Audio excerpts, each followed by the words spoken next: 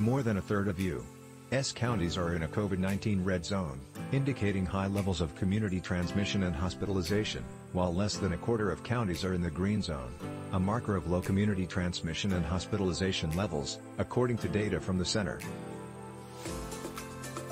That's how many new COVID hospital admissions the U.S. averaged per day in the seven-day period ending July 12, up 14% from the week before and more than three times the average of 1. 428 per day in early April, though numbers remain much lower than during the winter coronavirus surge, when daily H. Several northern states, including Maine, where 100% of counties had low COVID community levels, Michigan, New York, Vermont and New Hampshire had some of the highest percentages of counties in the COVID green zone.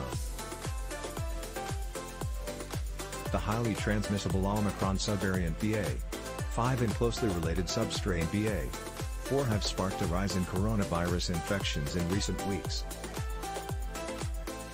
The strains were first discovered earlier this year in South Africa, where they became dominant, and eventually made their way into the U.S. in late March.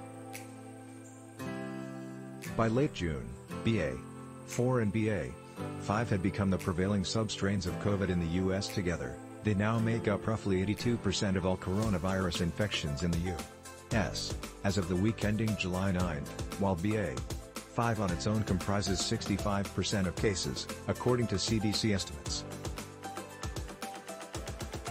Cases are on the rise in several other countries around the world, including the United Kingdom. COVID deaths in the U.S. Have remained low, however, hovering around 300 per day since April. The Food and Drug Administration is asking pharmaceutical companies to target the new BA4 and BA5 subvariants in a retooled COVID booster shot drug companies hope will be available in October.